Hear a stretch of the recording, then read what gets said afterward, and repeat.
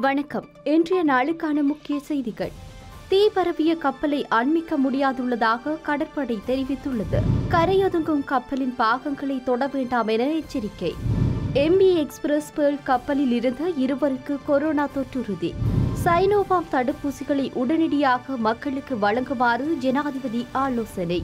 எதிர்க்கட்சித் தலைவர் அலுவலக பத்து ஊழியர்களுக்கு கொரோனா தொற்று. வீடு திரும்பினார் முஜிபுர் ரஹ்மான். கிழக்கு மாகாண கோவிட் செயலணியில் முஸ்லிம்கள் புறக்கணிப்பு. இம்ரான் மக்ரூப் குற்றச்சாட்டு. கடன் பெற்றோருக்கு நிவாரணம் வழங்குமாறு வங்கி நிறுவனங்களுக்கு மத்திய வங்கி அறிவிப்பு. இலங்கைக்கு பாதுகாப்பு அச்சுறுத்தல் இல்லை என பாதுகாப்பு பிரிவு அறிவித்துள்ளது. விமான நிலையத்தினை ஜூன் மாதம் முதலாம் தேதி திறப்பதற்கு திட்டம்.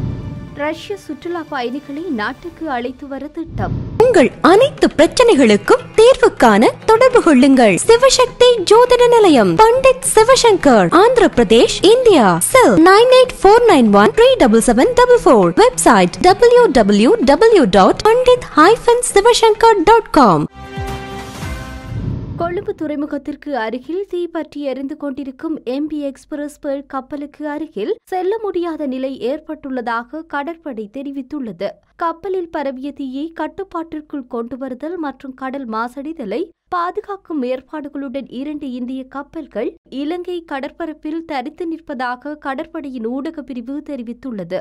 எம்பி எக்ஸ்பிரஸ் பேர் கப்பல் தீப்பற்றி எறிவதால் அதற்கு அருகில் செல்ல முடியாத நிலை ஏற்பட்டுள்ளதால் தீயை கட்டுப்பாட்டிற்குள் கொண்டுவர முடியாதுள்ளதாக கடற்படை ஊடக பேச்சாளர் குறிப்பிட்டுள்ளார். எம்பி எக்ஸ்பிரஸ் பேர் கப்பலில் இருந்த கொள்கலனில் அதிகளவானவை தற்போது கடலில் வீழ்ந்துள்ளதாகவும் அதன் எண்ணிக்கை தெரியாது எனவும் கடற்படை தெரிவித்துள்ளது. இந்தியாவிலிருந்து சிங்கப்பூர் நோக்கி பயணித்த எம்பி எக்ஸ்பிரஸ் வேல் கப்பல் கொழும்பு துறைமுகத்திலிருந்து ஒன்பது தசம் ஐந்து கடல் மைல் தூரத்தில் தரித்து நின்றபோது கடந்த இருபதாம் திகதி தீ பரவ ஆரம்பித்துள்ளமை குறிப்பிடத்தக்கது.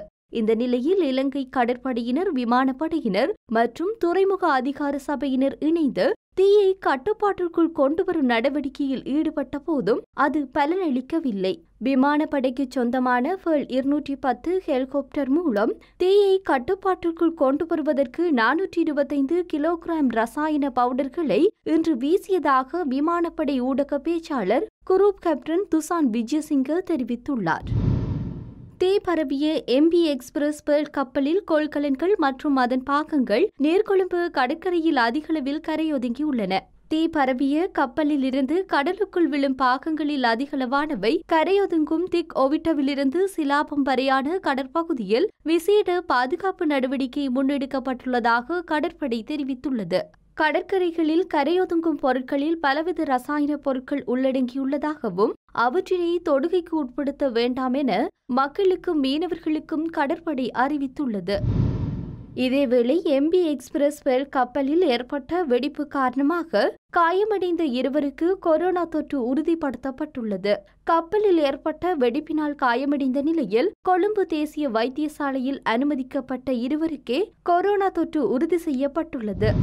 சீன அரசாங்கத்தினால் வழங்கப்பட்ட சைனோபாம் தடுப்பூசிகளை நாடு பூராகவும் மக்களுக்கு வழங்கும் நடவடிக்கையை உடனடியாக ஆரம்பிக்குமாறு ஜனாதிபதி கோட்டபய ராஜபக்ஷ சுகாதார பிரிவு பணிப்பாளருக்கு இன்று ஆலோசனை வழங்கியுள்ளார்.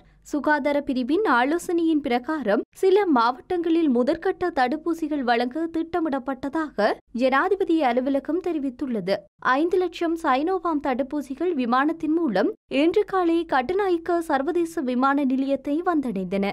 ஜனாதிபதி கோட்டபய ராஜபக்ஷ சீன அரசாங்கத்துடன் மேற்கொண்ட கலந்துரையாடலின் பிரகாரம் இந்த தடுப்பூசிகள் வழங்கப்பட்டுள்ளன.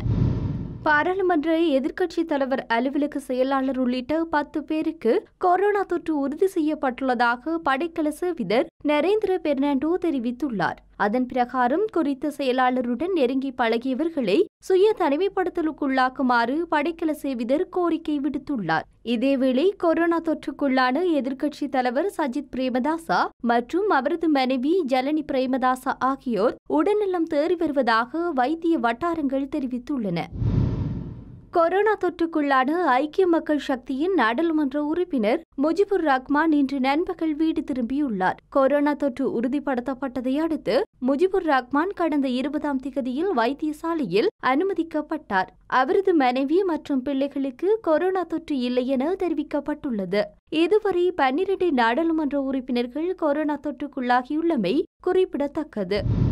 கிழக்கு மாகாண ஆளுநரின் கோவிட் விசேட செயலணியின் முஸ்லிம் புறக்கணிக்கப்பட்டுள்ளதாக ஐக்கிய மக்கள் சக்தியின் பாராளுமன்ற உறுப்பினர் இம்ரான் மக்ரூப் தெரிவித்துள்ளார். கிழக்கு மாகாண ஆளுநர் அனுராதா ஜகம்பத்தினால் நியமிக்கப்பட்டுள்ள கிழக்கு மாகாண கோவிட் விசேட செயலணியின் முஸ்லிம் பிரதிநிதித்துவம் புறக்கணிக்கப்பட்டுள்ளதாகவும் இது தொடர்பில் அரசுக்கு ஆதரவு வழங்கும் கிழக்கு மாகாண முஸ்லிம் எம்பிக்களின் நிலைப்பாடு என்ன என பாராளுமன்ற உறுப்பினர் இம்ரான் மக்ரூப் கேள்வி எழுப்பியுள்ளார். கிழக்கு மாகாணத்தை பொறுத்தவரை முஸ்லிம் சமூகமும் முக்கியமானது. தற்போதைய இந்த கோவிட் அனர்த்தத்தில் அதிக பாதிப்புகளை முஸ்லிம் சமூகத்தவர்களும் சந்தித்துள்ளதாகவும் இந்நிலையில் முஸ்லிம் சமூகத்தின் பிரதிநிதித்துவம் ஒன்றாவது இந்த விசேட செயலணியில் சேர்க்கப்படாமைக்கு என்ன காரணம் என நாடாளுமன்ற உறுப்பினர் இம்ரான் மக்ரூப் கேள்வி எழுப்பியுள்ளார். கோவிட் பத்தொன்பது தொற்று பரவல் காரணமாக பாதிக்கப்பட்ட வியாபாரங்கள் மற்றும் தனிநபர்களுக்கு வழங்கப்படும் கடன்கள் மீதான நிவாரணத்தை ஆகஸ்ட் மாதம் இறுதி வரை நீடிக்குமாறு இலங்கை மத்திய வங்கி அறிவித்துள்ளது. சகல அங்கீகாரம் பெற்ற வணிக வங்கிகள் மற்றும் விசேட வங்கிகளுக்கு இது தொடர்பான அறிவித்தலை இலங்கை மத்திய வங்கி வெளியிட்டுள்ளது.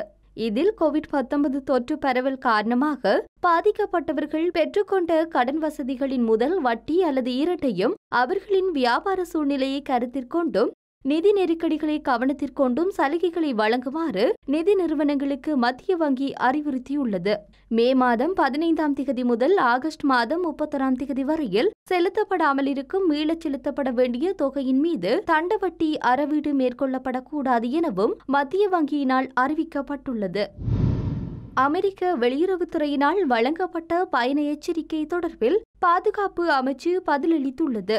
அமெரிக்க வெளியுறவுத்துறையினால் வழக்கமாக வழங்கப்படும் பொதுவான பயண எச்சரிக்கையின் பிரகாரம் இலங்கைக்கு நான்காம் நிலை பிரிவு பயண எச்சரிக்கை வழங்கப்பட்டுள்ளதாகவும் கோவிட் பத்தொன்பது அவசர நிலைமை காரணமாக இலங்கை தொடர்பாக இவ்வாறான அமெரிக்க பயண ஆலோசனைகள் வழங்கப்படுவதாக பாதுகாப்பு அமைச்சு தெரிவித்துள்ளது. எனினும் இந்த எச்சரிக்கையில் பயங்கரவாதம் அச்சுறுத்தலும் இயல்பாகவே உள்ளடக்கியுள்ளதாக பாதுகாப்பு அமைச்சு தெரிவித்துள்ளது. கொழும்பிலுள்ள அமெரிக்க தூதரகம் விடுத்துள்ள டுவிட்டர் செய்தியில் இலங்கை தொடர்பில் நிலை மூன்று முதல் நான்காம் நிலை வரையிலான பயண ஆலோசனை வழங்கப்பட்டுள்ளது. இலங்கை பாதுகாப்பு அமைச்சின் மதிப்பீடுகளின் பிரகாரம் பயங்கரவாத அச்சுறுத்தல்கள் அல்லது அது தொடர்பான நடவடிக்கைகள் குறித்து தற்போது எந்த அறிக்கையும் இல்லை என பாதுகாப்பு அமைச்சு தெரிவித்துக் கொள்கின்றது. வெளிநாட்டு பயணிகளின் வருகையை நிறுத்துவதற்கான மூடப்பட்ட இலங்கை சர்வதேச விமான நிலையங்கள் எதிர்வரும் ஜூன் மாதம் முதலாம் திகதி முதல் மீண்டும் திறக்கப்பட உள்ளதாக சிவில் விமான போக்குவரத்து அதிகார சபையின் தலைவர் உபாலி தர்மதாசா அறிவித்துள்ளார். எவ்வாறாயினும் கடந்த பதினான்கு தினங்களுக்குள் இந்தியாவிற்கு விஜயம் செய்திருந்த பயணிகளை அனுமதிப்பது தொடர்பான கட்டுப்பாடு தொடர்ந்தும் அமலில் இருக்கும் என அவர் தெரிவித்துள்ளார். பயணிகளின் வருகைக்கான தற்காலிக தடை நீக்கப்பட்ட பின்னர் குறைந்தது இரண்டாயிரத்தி ஐநூறு ரஷ்ய சுற்றுலா பயணிகளை இலங்கைக்கு அழைத்து வருவதற்கான திட்டங்கள் உள்ளதாக ரஷ்யாவிற்கான முன்னாள் இலங்கை தூதுவர் உதயங்க வீரதுங்க தெரிவித்துள்ளார். சுகாதார அதிகாரிகளிடமிருந்து இதற்கான அனுமதியை பெற்ற பின்னரே ரஷ்ய சுற்றுலா பயணிகளை அழைத்து வர உத்தேசித்துள்ளதாகவும் அவர் தெரிவித்துள்ளார். பாரத்துக்கு குறைந்தது இருநூற்றி எழுபத்தைந்து ரஷ்ய சுற்றுலா பயணிகளை இலங்கைக்கு அழைத்து வருவது தொடர்பில் கலந்துரையாடல்கள் இடம்பெற்று வருவதாக ரஷ்யாவிற்கான முன்னாள் இலங்கை இலங்கை தூதுவர் உதயங்க வீரதுங்க கூறியுள்ளார். அனைத்து செய்திகளையும் பார்க்க லங்கா ஸ்ரீ நியூஸ் சேனலை சப்ஸ்கிரைப் பண்ணுங்க. உடனுக்குடன் பார்க்க வேண்டுமா? அப்போ கீழிருக்கும் பெல் பட்டனை கிளிக் பண்ணுங்க.